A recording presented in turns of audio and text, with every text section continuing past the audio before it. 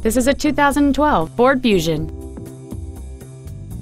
All of the following features are included. Heated seats, a low tire pressure indicator, traction control and stability control systems, leather interior trim, dual airbags, three-point rear seatbelts, rear seat child-proof door locks, air conditioning, a folding rear seat, and this vehicle has fewer than 17,000 miles on the odometer.